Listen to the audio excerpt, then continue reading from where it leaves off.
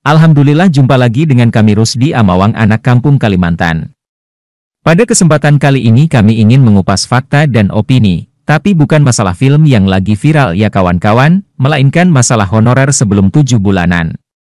Sejak terbitnya Undang-Undang Nomor 20 Tahun 2023 tanggal 31 Oktober 2023 sebagai pengganti Undang-Undang sebelumnya Nomor 5 Tahun 2014 tentang Aparatur Sipil Negara. Undang-undang terbaru ini menjadi kabar gembira sekaligus angin segar bagi para honorer atau non-ASN sebagai payung hukum yang sah bagi mereka. Dalam undang-undang ini secara tegas mengatur mengenai penataan pegawai honore. Di dalam ketentuan pasal 66 diatur bahwa penataan tenaga non-ASN wajib diselesaikan paling lama Desember 2024. Penataan yang dimaksud di sini adalah verifikasi, validasi, dan pengangkatan honorer menjadi ASN lembaga yang berwenang. Meskipun demikian para honorer masih terasa khawatir dan was-was apakah pemerintah bisa menuntaskan masalah honorer ini sampai dengan batas waktu yang ditentukan Desember 2024.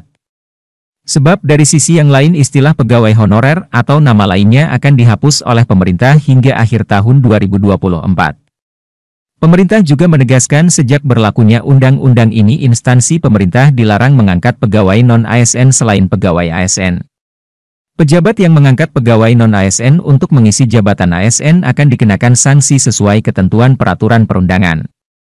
Sekarang sudah masuk penghujung hari bulan kelima atau Mei tahun 2024 tinggal menyisakan waktu sekitar tujuh bulanan untuk menyelesaikan penataan honorer ini sesuai dengan amanat Undang-Undang ASN.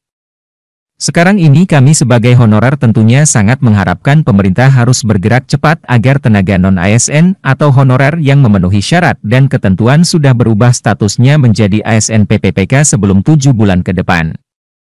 Meskipun ini bukan solusi yang sangat ideal setidaknya bersifat realistis agar memberikan bukti dan kesan bahwa pemerintah sangat serius untuk menyelesaikan permasalahan honorer sampai tuntas sesuai ketentuan dan aturan yang berlaku, dengan jalan sebaik-baiknya dan seadil-adilnya menyelesaikan masalah tanpa menimbulkan masalah baru lainnya.